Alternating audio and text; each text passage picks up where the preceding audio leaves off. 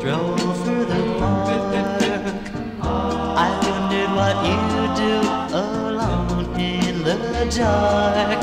I watched you more closely, but I couldn't understand why you seem to be living in a fantasy land.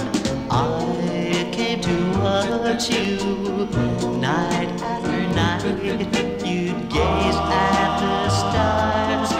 Stars, stroll out of sight.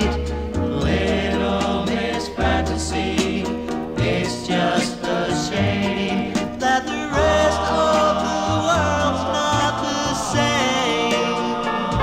You see,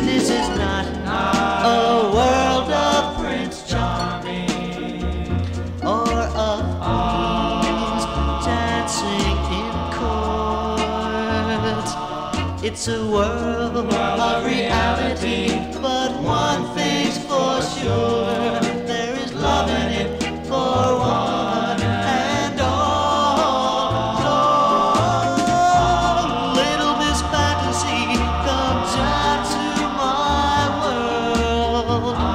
Give me a chance to make you my.